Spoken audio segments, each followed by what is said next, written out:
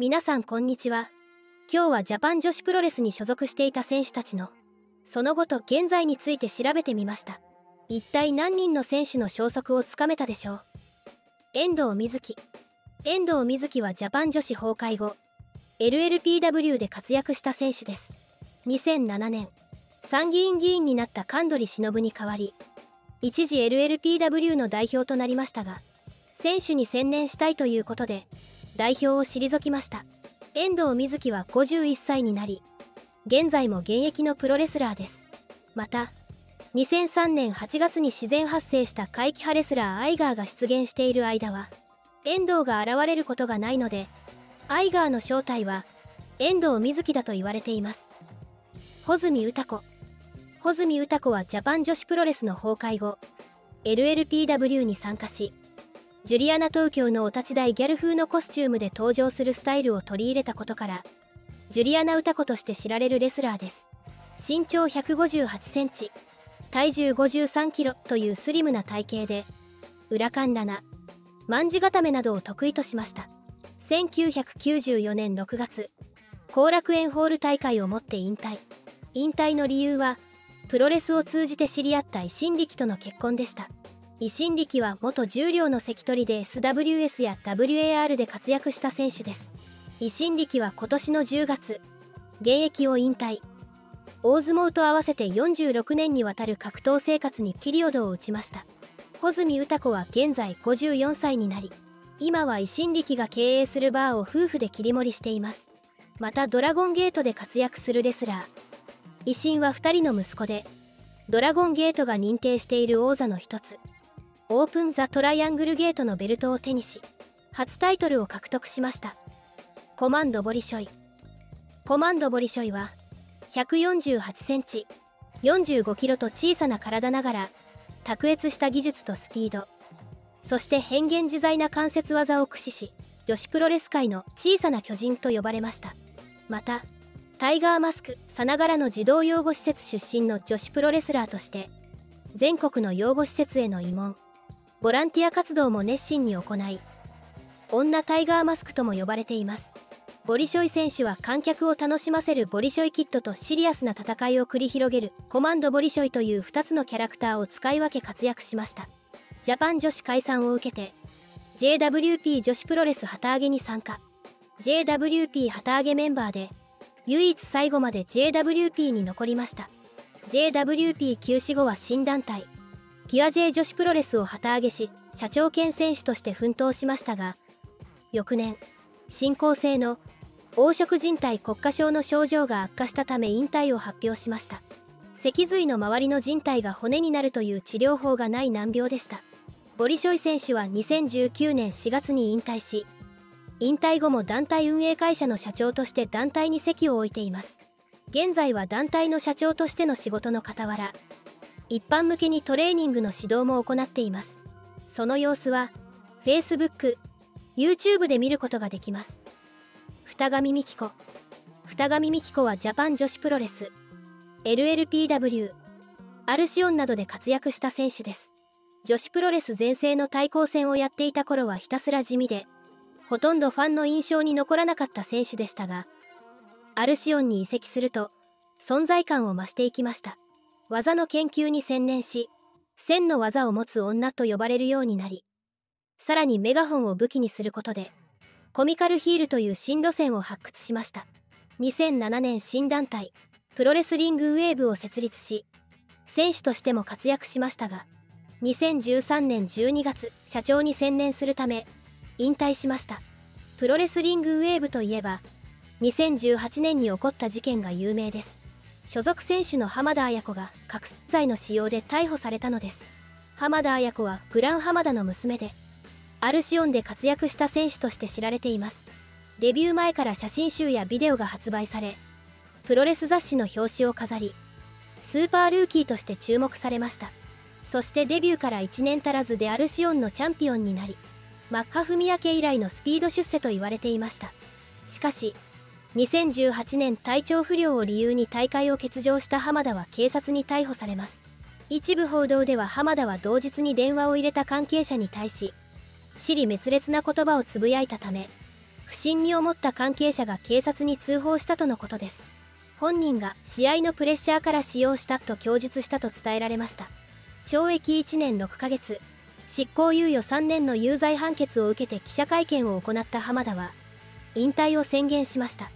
この事件の責任を負う形で二上は社長を退任しました。そんな二上は53歳となりプロレスリングウェーブの会長として活躍しています。キャロル緑キャロル緑はジャパン女子プロレス解散後 LLPW で活躍した選手です。ジャパン女子プロレス時代は斎藤緑と本名を名乗り特に目立った特徴はありませんでした。風間ルミの付き人だった関係から LLPW 所属となり同期である二上美希子。紅夜叉とトリオを組み決起軍を結成しました。LLPW の6人タッグ王座を獲得しその後2001年にヒールに転向し LLPW シングル王座を獲得しました。しかし翌年に突然引退表明を行います。下の選手も育ちいつまでも居座るのはかっこ悪いという理由ですっぱりと引退を決意しました。そんなキャロル緑は2022年誕生日を迎えると52歳になります。現在は全国にチェーン展開する女性専用フィットネスのインストラクター兼店長をしています。すっかり一般社会に溶け込んでいるキャロルのことをフィットネスの会員は元プロレスラーであることをほとんど知らないと言います。礼儀作法や言葉遣いなど風間るみの教えが役に立ったとインタビューで語りました。しかし引退後とても辛い時期があったようです。キャロルは引退してから現役時代と比べ暇になったことで寂しさを感じるようになりました。何をするか決めてからやめればよかったと後悔するようになり精神的に落ち込んでいきました。やがて誰とも連絡を取らなくなり4年間部屋に引きこもっていたのです。かつての仲間からのメールにも返信しなくなりました。それでも何人かのレスラーたちはキャロルを励まし続けました。中でも現役時代は仲が悪かった FMW で活躍したシャーク土屋は事あることにキャロルを外に連れ出しキャロルの社会復帰を助けたのでした。その後シャーク土屋は糖尿病と診断され右足切断さらには乳がんが見つかり右乳房全摘出術を受けます。今度は逆にキャロルが土屋を助けたのでした。紅夜叉紅夜叉はジャパン女子プロレス。LLPW で活躍した選手です。ジャパン女子で練習をボイコットし勢いで引退しましたが LLPW が立ち上がると風間るみの誘いでプロレスに復帰。その後紅夜叉に改名し木刀を片手に赤い特攻服を着てレディースのギミックで人気が出ました。紅夜叉の代名詞となった試合は北斗晶との対戦です。怪我による欠場のハーレー斎藤の代わりに LLPW から X と自身の名前を伏せられ登場。試合で奇襲を仕掛けた後北斗のノーザンライトボム一発で仕留められました。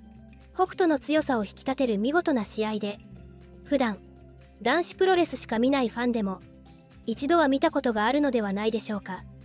定期的に見たくなるというリピーターもいる。そんな試合となりました。1999年。結婚を機に引退。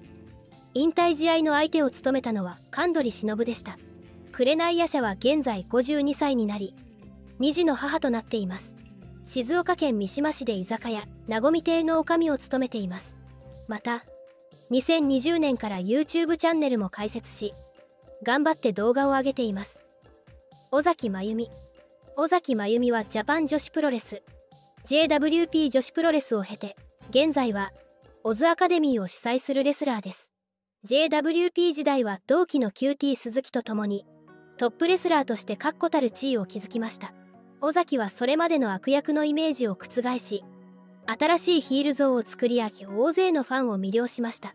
経済企画庁長官内閣官房参与などを歴任し小説家評論家として知られる坂井谷太一が尾崎の熱烈なファンだったことは有名な話で悪役でありながら小柄で美人。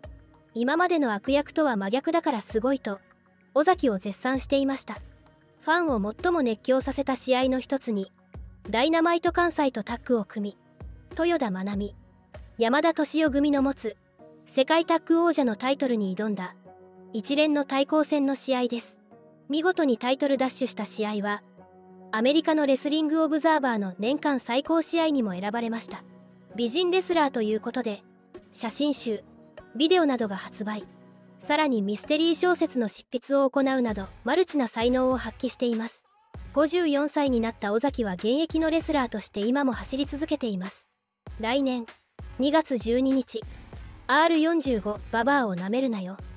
と銘打った45歳以上の選手限定による興行を開催します。堀田由美子に井上京子伊藤薫渡辺智子が参加。さらに還暦超えのジャガーダンプなどレジェンドが多数参加します。45歳以上だからこそできることもある。ただのお祭りじゃない。リングにかけてきたババアの生き様を見てほしいと尾崎は語りました。ダイナマイト関西。ダイナマイト関西はジャパン女子 JWP オズアカデミーを渡り歩き173センチ。77キロの恵まれた体格から繰り出すパワフルなキックと豪快な投げ技などを武器に活躍した選手です。